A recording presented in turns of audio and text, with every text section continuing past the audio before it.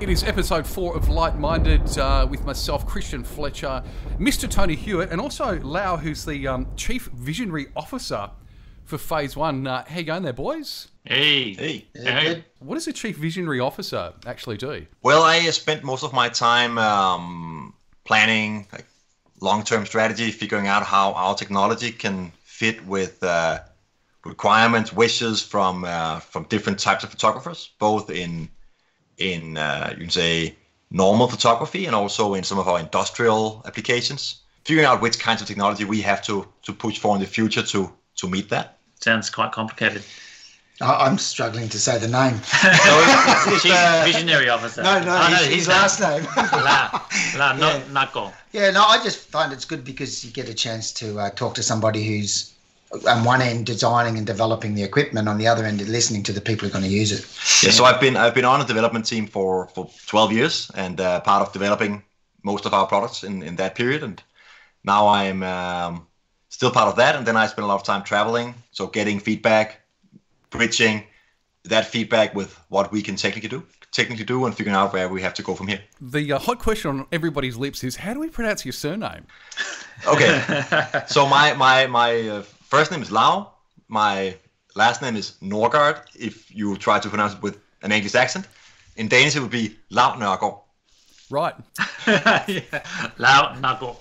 It's very short. He he, he talks quite quite quickly, and uh, you know he's got good English, but it's you know Better he than he- mine. yeah, better, better than Tony's, and he uh, but he also does amazing things with with cameras. So uh, Lau was uh, kind enough to come and visit Tony and I down here in the southwest, and he bought the new IQ4 150 megapixel digital back from Phase One, and uh, we've been out this morning having a bit of a play with that.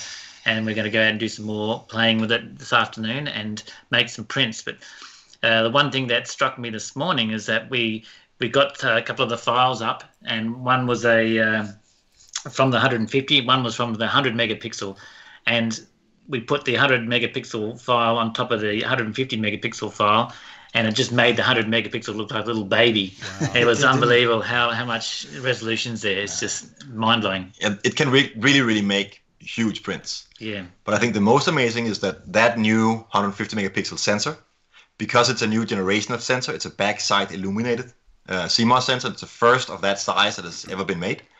Um, the pixel level quality, even at 100%, is significantly better than the 100, Yeah. 100 megapixel. Even if, even though it has 50% more pixels. So that's, I think that's a quite an achievement. Yeah. Matt. Lau, can I ask you, who is this back um, targeted towards? So we've made it for a number of different types of photographers. Um, for commercial, advertising, um, product photography, and we also make it for uh, for fine art, landscape, architecture. Um, then we use the same technology in a different form factor for industrial photography, uh, mainly aerial photography. So anybody flying maps, flying aircraft and making maps or 3D models of cities and also um, we have a lot of users in the uh, museum and archive community, uh, digitizing and preserving, like well, the heritage of the the human race. Where is it going from here?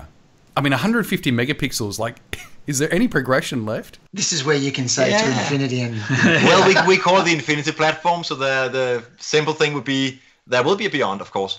Um, Wow. resolution. Some would claim that 150 would be enough.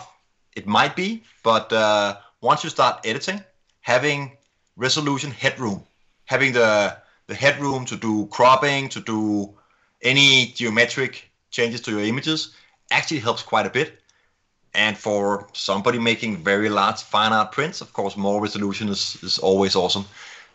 But we are not just about more pixels. I think a lot is happening both with the quality of the pixels, but but we're also pushing to uh, to add more things than just resolution. So new ways of using the sensors to create images that are essentially new and revolutionary in other ways than just resolution. We're testing some of that actually now. I can't talk too much about it because it's still uh, unreleased. But You- you uh, one can. of my we won't uh, tell anybody. You, Yes, can, you can this tell trip us. is actually together with uh, with Christian and Tony here to test some new and upcoming firmware updates where we have some features that are based essentially on a combination of this fantastic sensor and then all the processing horsepower we put into the digital back around it. If could I just say to simplify it, Lau, if you can maybe ex- uh, explain and expand on the idea of dynamic range and uh, cleaner ISO use, because that's something a lot of the, the listeners would probably click onto. So the sensor itself has a very uh, very low noise. So uh, that means that higher ISOs are um, very usable, even though the pixels are smaller. Um, and all the dynamic, also the dynamic range, because of that very low noise, becomes at least it feels bigger. You can use it like further into the shadows. Mm. Um, so the sensor itself is really amazing. But what we are now pushing for and testing now is a feature where you can essentially continuously read out the sensor and combine that outside the sensor and software. So you can make dynamic range that becomes bigger than what the physical sensor can do itself. So back to your question about what comes next, I think that features like that, combining multiple exposures, that is a lot of where we are going. We have the same with the focus stacking, where we take a number of, of shots and move the focus distance mm. and combine that, that, that all of that back into uh, to one image in, in software. So you can actually focus stack inside the, the camera. Yes. Yeah. You do the actual combination of the files and software afterwards. That gives you much more flexibility, but the camera itself drives that. It calculates how many images to take in your stack and all of that. Yes. Yeah. Now, uh, Christian and Tony, you guys have been out um, shooting with that over the last couple of days. What are your impressions? Well, I, I, I, this is going to cost me a lot of money. that was my first impression. But, oh shit! oh. so yeah, no. look, it's it's just that that next level again. I mean, I'm I'm shooting with the IQ 280 at the moment, and that's a couple of generations back now from from where they are and and just looking at uh, the interface and how it works and the the extra features that are on there, it, it makes me realize that yeah, it's time to do some upgrading. Yeah, I think also as professionals and you know having the opportunity to stay ahead of what the the general population might be using and having in their hands in terms of, you know, lower end cameras. Um, obviously, uh, phone cameras are pretty strong, mm. but phone cameras have limits, and mm. so does DSLRs etc. So seeing where this technology is going um, is exciting. But I think the thing that starts to hit you is there are ideas that come into your head as a creative professional mm. or a professional creative. I'm not sure which comes first, but what happens is as you start to think about the technology, and we've already found this this morning sitting over breakfast, you start to go, oh, what if we do this with it? And what if we do that mm. with it? And these are ideas that weren't around before because you couldn't do it. Mm. So the, the, the beautiful thing about that is that, you know, we're looking at a technology that's opening up new frontiers that we as professionals, we as leading creatives can actually explore and take other people behind us. And that's where phase one leads the, leads the game. Tony, would you mind expanding on that? Often we talk about, um, and if I step outside of cameras for a moment, I remember uh, quite a few years ago someone saying to me that that, that the students entering the first year of university in a science degree will be um, studying technology in their final year that doesn't exist yet. So if we just take that that concept, we're looking at cameras now that are opening up ideas visually, which is probably now brings us back to Lau's um, title as a what was it? Visionary uh, chief visionary chief officer? visionary yeah. officer. So I'm starting to understand why that title exists now because mm. we look at it and we were playing around with the camera and we were starting to take ideas that the camera technology is um, opening up and connecting them in ways that haven't been connected before because you couldn't. The ideas didn't exist before because the technology wasn't there for it to even be considered. And as you go from one step to the next step, we start to see further ahead. We start to conceive creative ideas that we could not conceive before because they just weren't in the realm of possibility. Mm. And and that's where I think that people like you know Christian and myself, Peter Eastway's had a had a little look at the technology in the last week as well, and I'm sure other leading photographers around the world are doing the same. They will start to come up with ideas that then get fed back to people at phase one through you know obviously through their chief visionary officer in Lau that they will look at it and go, well, okay, we can do that. And what about if we bring this new facet of technology and uh, into the game as well. What could you do with that? So it's like this feedback loop that keeps building on itself. Mm. And we'll find ourselves producing things next year and the year after that we probably aren't even conceiving yet because they weren't possible mm-hmm. um, uh, and very you know very short time ago. And that's what the new technology allows you to do. I think that's where I feel quite privileged, being able to travel and show these things to you guys and others and uh, see what you can what you can do with it. Yeah. Uh, and in that way, we can we can bring together uh, your art and craftsmanship and uh, and our technology and make ho- I hope make both things Yeah. even better. So, like, if you take one one of the features on the XF camera system uh, is the um, vibration delay switch, which uses seismographic technology, correct? Mm-hmm. And at first, it was a you know you could dial in up to a four second delay, mm. and then it was a, an eight second delay, and now and, and you know they brought in not that long ago an infinite delay, so you can press the trigger and the camera will not take an image until the vibration reaches a minimal level, whatever you set that at. Now that technology wasn't around not that long ago. You just have to hope you don't get camera shake. Whereas now you could walk away and leave it there for, you know, technically speaking, an hour or two, and it won't take a photograph until it's absolutely still. So you won't get any, you know, those sort of Wow. ideas, and that that opportunity opens up other other opportunities as well. So and so it's opportunity shots. built on opportunity built on opportunity, Mm. which are built on technology technology advancements Mm. that people like Lau are bringing bringing to professionals like ourselves. And what we need now is is a um, a feature where you point the camera at something and, it and the button won't fire unless it's a really good composition. That's the one I'm looking for. I need that. yeah, that- you just you just search around and it has AI, artificial intelligence, and knows and it has all the Hang on a minute, you're doing yourself out of a job. now. Yeah, that's okay. go. Lau, can you make that happen, please, anyway. mate? Can you make that happen, Lau? Maybe When you think about it, it probably is possible. who, who should be the judge of if it's a really good picture? Well, you and is get that and is that static over time? yeah. Well, means? no, it'll be I'll be the judge because it'll, be the, it'll be the Christian Fletcher feature. Or it could be that, that it just detects, I can see you try to take a photo of Sugarloaf Rock. rock. Yeah. We have a nicer one here. Would like to buy it? yeah, that's right. Yeah, exactly. Yeah, just a little error message on the back. Sorry, this photo's been taken. You can Yes. purchase your copy at christianfletcher.com.au. Yeah. Uh, Christian, out and about with the um, with the back. What what did you think about it? Uh, I, like I said, I think it's amazing. I think it's uh, it makes me realise that I, I need to upgrade. But the one thing that struck me straight up was that having that much resolution, people go, "Oh, well, 150 megapixels. That's crazy." I mean, most people only make a, a 20 by 30 inch print at most. So, but then I thought, well, okay, 150 megapixels. I can crop and I can sti- I don't have to stitch anymore. I can do all that stuff. I can create any shape, any format photo I want. I can make it a two to one. If I mean, if I get wide enough back, I can, you know, I can make a square. I can make a panoramic, and and I don't have to worry about resolution. I don't have to worry about putting any extras together. So for me, that's a big thing. I, I like that that the fact of, of being able to do that.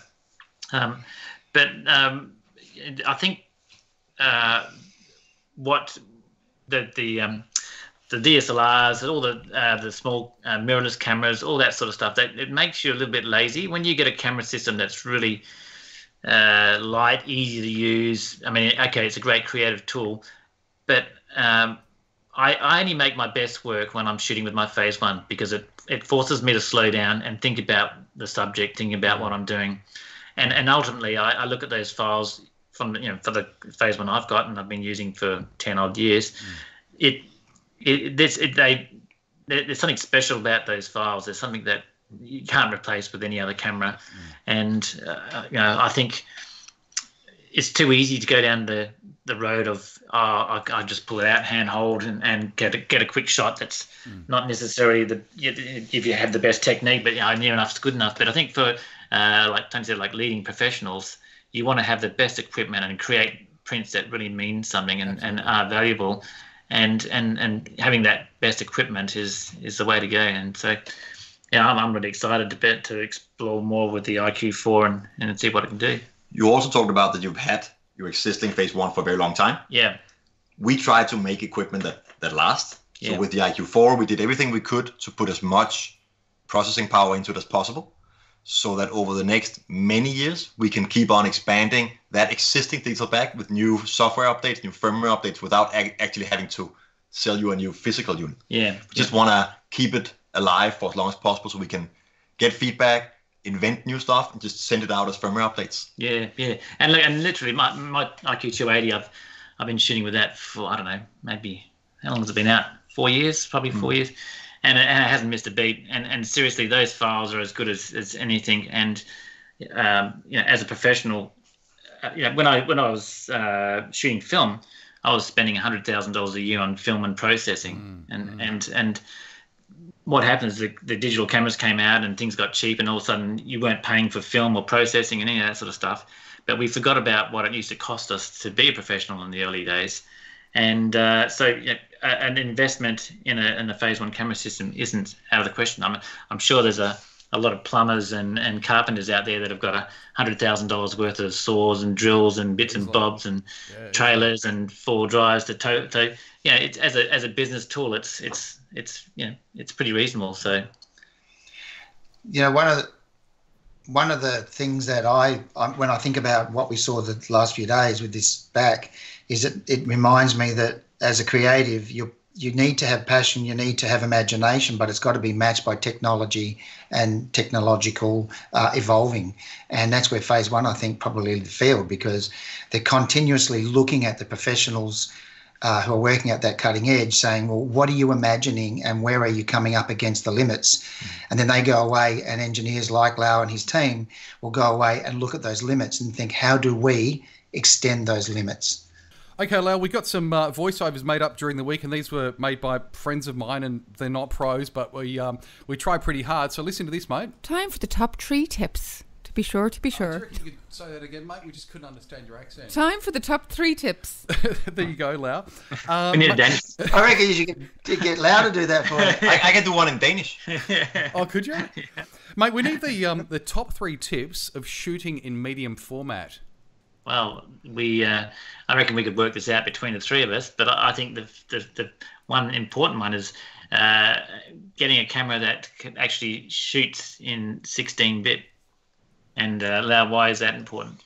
Well, if you if you make a kind of a true true 16-bit file, you have a bit more headroom. You uh, you have more uh, more less uh, more smooth gradations. You have uh, essentially more numbers to choose from, going from complete dark to the to the to the highlights. So um, it ends up essentially giving a smoother file with uh, with a, the possibility of a bit more dynamic range, but especially around the, the gradations, you, you, you get a high quality. So using a lot more information than an 8 bit. It essentially can can store four times as much uh, much information per pixel. And what's another tip, Oh, I Tony? was going to say, um, you know, when you're exposing, everybody understands that little picture on the back of their camera, the histogram, expose to the right, try and capture as much highlight detail as you can, and just go as far as you can to the right without clipping, where you lose information off the right. Um, why does that make a big difference, Lau? Well, because if you if you don't expose to the right, so you have kind of a little bit of empty space up there, then you don't use the whole range of uh, of uh, possible values of, in your pixels. And actually, in in uh, in the highlight end, there are much more little steps between the numbers. So by by pushing your histogram to the right, you get you get a better sampling on the digital side. You also essentially have more light in the pixel, which means that when doing the conversion, you have better statistics. You get less noise. Pulling it down a bit afterwards doesn't hurt at all. The other way around, if you pull anything up, you also put the, pull the noise up. So always expose as much as possible, which essentially means that the lower ISO you can you can work with, the cleaner, as low ISO as possible, and exposed as far as right as possible to the right as possible. So you capture more light. If you capture more light, you have more data. You get less noise. Yeah. And when we say clipping, what are we? we And essentially, clipping is once you get beyond that point. So you have to drive as close to the clip as possible. But if you fall over, it's just done. it's gone. Yeah. And clip, clipping is the point where where you expose so much that the pixel saturates, and you cannot see the difference between a full pixel and a full pixel that has, has overflown. Right. Yeah. So you just have flat white areas with no structure that you cannot recover in any way. Yeah, yeah, that's right. Yeah, and that's interesting when we're out there with the phase, and I didn't even realise that you uh, you've got the different colours for the, the clipping. You can set your clipping mask to be showing it at uh, 250, um, but then if it goes, so that shows up red on the, on the screen at the back. But if you go beyond that, it goes to purple, and I, and I didn't realise. So essentially, it has a, it's a has a highlight warning mask. Just mm. warns you that this highlight is getting close to the edge.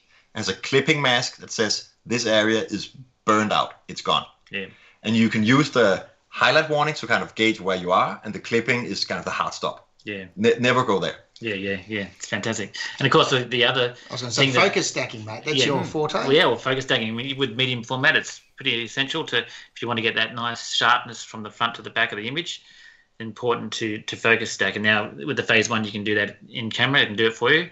Uh, I I choose to do it manually because I find that quicker for me, and I'll take about five shots. So I, I look through my viewfinder and I focus at my feet. You could do that with live view, obviously. Focus at my feet, take that shot, and then I just move the focusing ring as many times as I can until I get to a point where I'm in at infinity. Uh, take that last shot, and then um, then I combine those shots together in uh, Helicon Focus. That's what I use. But with the XF camera, we- we've actually built that in in an automated way. So you focus on the near point, click one button, focus on the far point, click another button, and either you can set the number of steps you want, or we've built in an algorithm that based on a model of the lens and the pixel size and chooses. the aperture, it'll just calculate how many stops should you do to make sure that this just works. Well, I think when we're out there today, this afternoon, I need you to teach me how to do it. We'll that. go play with it. yeah, sounds good. And then it outputs it as layers. In a, so then uh, the the uh, XF system will output them as layers. Yes, it will save all of these steps as individual raw files, but they would be tagged as number five out of a sequence of 12 or Yeah. whatever. And, and in. Capture One, you, You you can see see them as a group. You can process them out, round trip to Helicon Focus, and have them uh, So they combined. have, this, they have the same file number. yeah. with the So they'll have subtype. their consecutive numbers, but they will have a little label inside telling that I am part of a stack. Yeah, so- Now, can I just ask if um, just a couple of questions? Uh, first one, the obvious one is, mate, can you just give me one? Can you give me one? He, he's shaking No. his head. For those, We already asked. Uh, uh, yeah, he doesn't talk about that. He, No. he he's uh, that's not his department. I'm, I'm not involved in that. he didn't even try and change the subject. He just he just shook his head. Uh, the, the second one is, if we want to find out more information, what's the, the website address? Phase1.com. Phase That's one. easy. And just uh, just that's search for PH. IQ4. Yeah. Yeah. So it's P H A S E one. And how would you say that in Danish? Well, it's an English word, so I wouldn't really say Just that. say, just say quickly. Phase one. Make. One phase. Now, uh, yeah, we always like to um, pick on people's uh, accents when they when they come into this podcast, Carwyn. we, we need a Yeah. German. We need a German. They, they, they're fun to uh, to pick on. Um, Yeah, yeah. I have a little list of uh, words in Danish that are difficult to pronounce. We can go through that afterwards. yeah. now, uh, What's the um, most difficult one? I think the the classic one we always uh, get people to pronounce is rødgrød med fløde på. oh, that's easy. What does that mean? That. No That's a dessert. It's a dessert made of uh, red berries, and you serve it with cream. Yeah. That's Say it again. Rødgrød med fløde på. Oh, oh, Tony, beautiful. say it. Say. That's not bad, Tony. I, could, I couldn't even attempt that. Tony, Tony, how Carwyn, about yeah, the you're the you're, you're the guy with the golden tonsils. Uh, you should be able to come up with that one. Uh, Ort Mort Medina. That was Yeah, not bad, not bad. Pretty mate. good. Yeah. Now, um, thanks very much for uh, for joining us today, mate. And if you want to check us out on Instagram, just uh, enter Light Minded Podcast. Light Minded Podcast. Again, Lau, um, thanks for joining us today, mate. And um, you know we can't wait to uh, to see more of this IQ4.